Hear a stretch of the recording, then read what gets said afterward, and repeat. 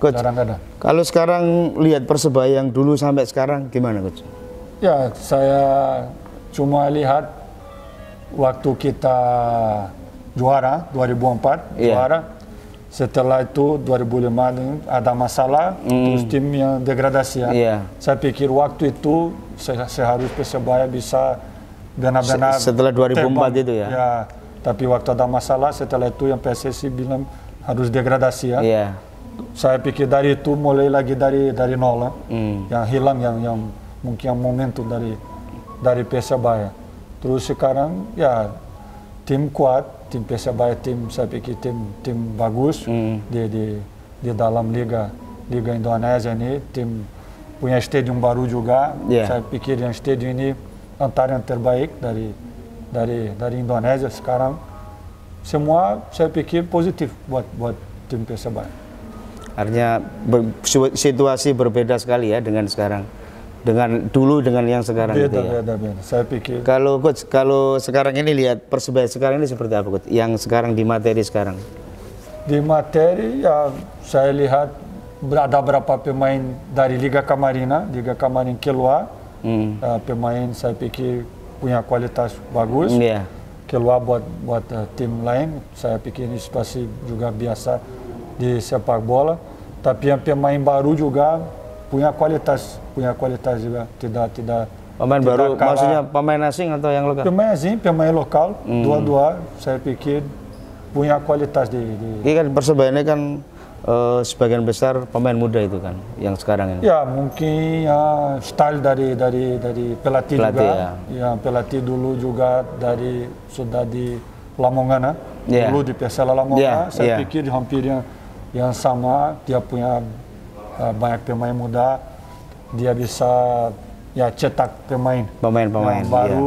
Mungkin klub juga udah tahu rencana dari dari Persebaya, tapi mungkin ada rencana buat cetak yang pemain. Pemain karena persebaya kan punya ini juga kan eh, klub internal itu kan Ya, banyak yang ya, ya. Coach Bisa Tiko dulu kan dari kan, sana. iya. Ya, tahu tahu. Di sana gitu. banyak pemain bagus pasti. Kalau Tiko sendiri coach, kalau nangani tim itu lebih suka dengan tim pemain muda atau berpengalaman dengan pemain bintang atau seperti apa coach? Saya pikir ini ini baru harus dari manajemen dulu. Kenapa target apa dari manajemen? Waktu ada uh, target buat juara atau Yeah. target benar-benar tinggi, saya pikir dia tidak terlalu fokus ke pemain muda. Hmm. Dia bicara target aja, hasil Iya, aja. iya. Terus kita di dalam tim juga tidak pikir juga soal muda atau senior. Kita pakai yang lebih siap, yang lebih bagus di latihan, yang lebih siap kondisi fisik, teknik, taktik. Nah, Iya. Kita pakai, kita tidak Jadi- terlalu pilih antara lihat yang muda atau senior kita tidak lihat seperti itu. Jadi ibarat seperti koki coach ya. Coach, coach pelatih ini seperti koki, apa maunya yang dari manajemen atau pemilik Ya. klub seperti apa nanti akan menyesuaikan. gitu. Ya, ya benar. benar. Jadi kalau coach sendiri, coach Tego sendiri jadi lebih kepada apa yang mau dari manajemen itu dulu ya. Ya, Baru saya- kemudian lakukan penyesuaian. Ya, ki- kita sekarang dulu kita pelatih fisika di di di, di beberapa klub di Persebaya, Iya. beberapa klub. Setelah itu kita asisten, kita bisa lihat yang pelatih dulu, kita bisa lihat yang bagus waktu kita kerja sama Hmm. Iya. pelatih kepala, lihat yang bagus, Iya. yang kurang dari pelatih kepala.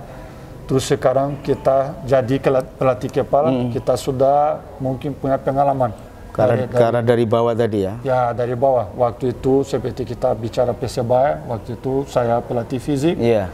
asisten, saya kerja sama beberapa pelatih waktu itu. Iya. Saya bisa lihat Hmm. setiap pelatih ada bagus ada kurang. Saya Iya. pikir. Se- Setiap orang Ada bukan pelatih, se- Sisi- setiap orang. Sisi-sisi baiknya diambil ya. Ya, yang Ini- kita lihat yang baik, tapi kita harus lihat yang kurang juga. Apa yang Buat kita tidak pakai.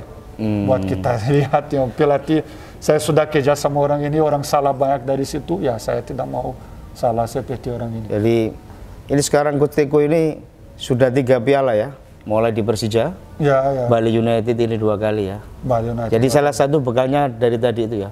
Karena dari bawah Ya, ya, lihat pasti, itu. pasti, Jadi pasti. Ya, waktu saya balik ke Indonesia, pasti pengalaman saya waktu di Persebaya, ya pasti saya pakai di sini. Iya. Yang pertama soal bahasa. Waktu saya balik Hmm. Pertama kali, kali saya datang di Indonesia, saya tak bisa bahasa Indonesia. Saya belajar di Yeah. Persebaya, tapi waktu saya pegang Persija, saya sudah bisa bahasa Indonesia. Ya ini pasti lebih mudah. Waktu pegang waktu di Persebaya kan juga sudah bisa bahasa Indonesia kan? Sudah bisa. Iya. Setelah satu tahun saya sudah belajar Indonesia. Iya. Coach, eh, ada keinginan nggak nanti suatu ketika jadi pelatihnya Persebaya? Ya, kita sepak bola kita tidak tahu ah, kapan Iya. ada ada peluang buat balik ke ke tim kita sudah kerja. Ini pasti kita respect sama yang ada di dalam Sekarang tim. ini. Kita pasti ya saya orang benar-benar tidak suka ganggu orang di sana. Tapi di sepak bola kadang-kadang ada yang habis kontrak atau sudah selesai. Waktu kita juga free, ya pasti yang klub klub saya pas benar Serius, suka. Ya, serius, ya. Klub serius punya kualitas, kota bagus. Kita sudah hidup di sini lima lima tahun. Kita tahu yang yang situasi di Tahu situasi di di Persebaya dari mulai juara sampai masa susah ya, itu coach ya kita tahu, tahu yang benar-benar yang bagus yang kurang dari dari tim. dari Persebaya. Ha. Jadi ya suatu ketika barangkali ya mungkin bisa juga jadi Ya, ya, bisa bisa. Sepak bola kita ti- tidak tahu yang bisa ke terjadi. depan nanti seperti Ya, apa. Saya sebagai pelatih kepala, kamu bisa lihat sendiri. Kita main cuma tujuh pertandingan di Liga 1 tahun ini. Iya. Saya pikir sudah tujuh tujuh pelatih, Pelatih. sudah diganti, Diganti. dipecat ini. Kalau Coach Teko sekarang ini kan berapa musim sudah berapa musim Coach di Bali Coach? Di Bali saya mulai sana 2019. 2019. Ya, Kontrak sekarang masih masih masih ada, masih, masih ada. kontrak. Apa yang membuat Coach Teko nyaman di Bali itu? Eh, Bali saya lihat waktu waktu saya selesai di di di di, di Persija, Iya. waktu saya selesai kontrak di Persija sana, eh, dia eh, Bali waktu itu ada di posisi 11, dia selesai posisi 11. Tapi saya lihat waktu itu yang kualitas dari dari pemain pemain eh, bagus.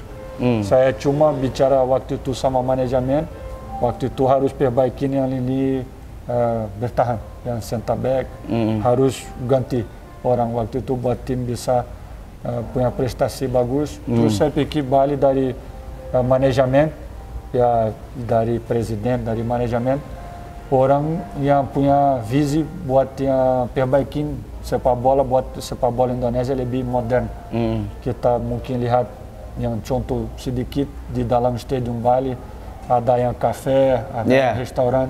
Saya pikir ini contoh kecil, Mm-mm. tapi mungkin yang klub-klub lain bisa bikin seperti ini. Ada store buat beli baju, Mm. beli semua. Se- Semua ini saya pikir datang duit buat buat tim.